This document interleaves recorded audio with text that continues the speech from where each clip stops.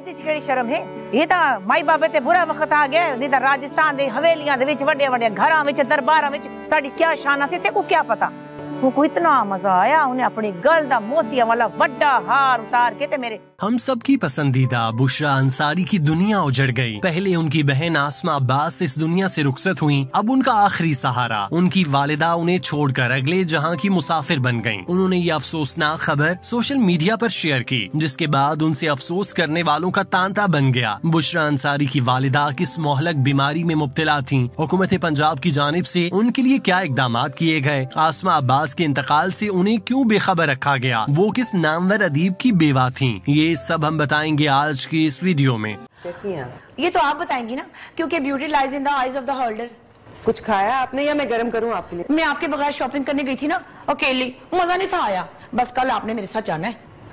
साइमा जी मेरी तबीयत आजकल अच्छी नहीं है। मारूफ अदाकारा बुशरा अंसारी की वालिदा महमूदा बशीर खानू मंगल को इंतकाल कर गई मारूफ अदाकारा ने इंस्टाग्राम में अपनी वालिदा के इंतकाल की दुखी खबर पोस्ट की, जिसमें उन्होंने लिखा, मेरी खूबसूरत माँ, महमूदा खानुम अभी अभी हमें छोड़कर चली गई वो बिस्तर पर एक तवील तकलीफ़ दे वक्त से गुजरी, अब वो मेरी प्यारी बहन सुम्बुल से मिलेंगी। अलविदा, मेरी प्यारी माँ, अंसारी ने लिखा एक और इंस्टाग्राम पोस्ट में। बुशरा अंसारी ने अपने मदाहों से दरख्वास्त की कि वो अपनी मरहूम वालिदा और बहन सुम्बुल शाहिद के लिए दुआ करें। जो गुजश्ता साल कोरोना वायरस के साथ तवील जंग के बाद इंतकाल कर गई उन्होंने कहा, मेरी प्यारी माँ, मेरी खूबसूरत बहन सुम्बुल खुदा के घर में एक साथ हैं। राह करम उनके लिए दुआ करें। खुदा मेरी माँ और बहन को प्यार से रखे। महमूदा बशीर खानुम एक तवील अरसे से अलील थी। उनका बाकायदगी से चेकअप किया जा रहा था। जायदुल उम्र हो जाने की वजह से उनकी सेहत संभल नहीं पा रही थी। बुशरा अंसारी अपनी वालदा से मुतालिक सोशल मीडिया पर पोस्ट करती रहती थी। जब वो बीमार थी, तब भी बुशरा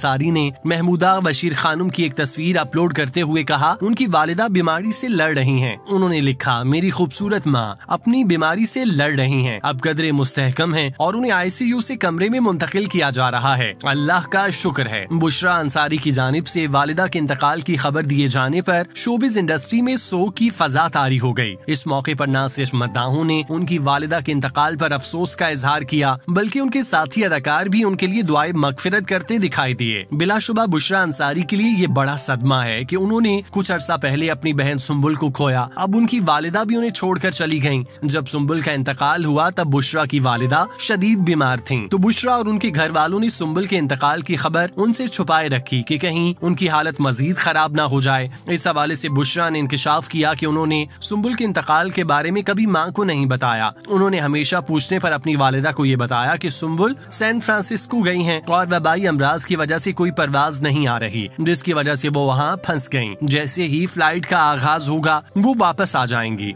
रोज़ाना खत लिखे जा रहे थे। और उन खतों में क्या क्या फरमाइशें थी, ये भी नज़र आ रहा है। तुम्हें पता भी है कि मेरा बच्चा कितनी मेहनत कर रहा है। गर्मी में, धूप में, पसीने में। ख्वार होता फिर रहा है।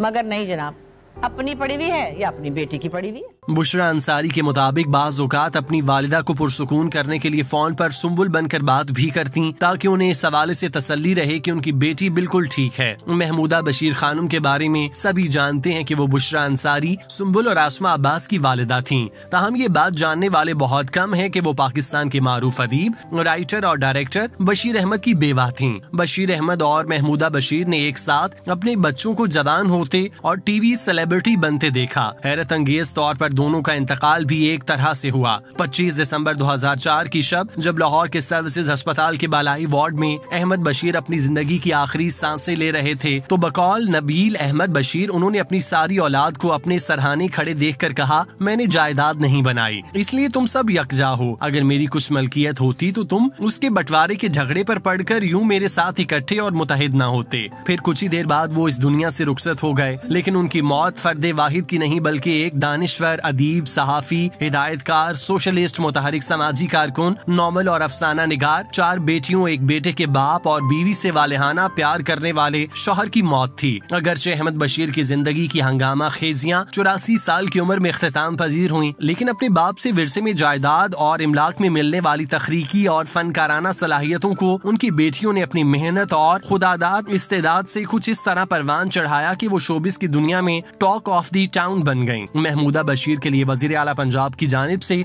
फूलों का गुलदस्ता भी भिजवाया गया था। जब उनकी तबीयत ज़्यादा खराब थी तो उनका चेकअप करने के लिए हुकूमत पंजाब की जानब ऐसी बाकायदा एक फिजिशियन भी मुकर किया गया, जो उनकी सेहत के हवाले ऐसी मुकम्मल अपडेट देने का पाबंद था। महमूदा बशीर के इंतकाल पर बुशरा अंसारी और उनकी तमाम फैमिली सोग में डूबी हुई है। उनके लिए बिलाशुबा ये वक्त कांटों से भी ज़्यादा तकलीफ़ दे है, क्योंकि उन्होंने एक एक करके अपनों को खोया। पहले सुम्बुल अब्बास का जवान बेटा हादसे में इंतकाल हुआ, जिसके बाद सुम्बुल अब्बास भी कोरोना वायरस के बायस अल्लाह को प्यारी हो गई अभी ये जख्म ताज़ा ही थे की महमूदा बशीर भी दुनिया ऐसी पर्दा फरमा गई और अपने बच्चों और पोते नवासियों को अपनी जुदाई का ऐसा जख्म दे गई जो रहती दुनिया तक भरा नहीं जा सकेगा। अल्लाह पाक महमूदा बशीर सुम्बुल अब्बास और उनके बेटे को जवार रहमत में जगा दे।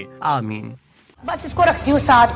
पानी पुनी पिलाती है टहल सेवा करती है मेरी। अब चाय पियेंगी या खाना लगवा दूँ? नहीं ब्लैक कॉफ़ी हो तो बड़ा बेहतर सा हो जाएगा। Black coffee? वो असल में मैं डेट कर रही हूँ ना तो मैं इसलिए जरा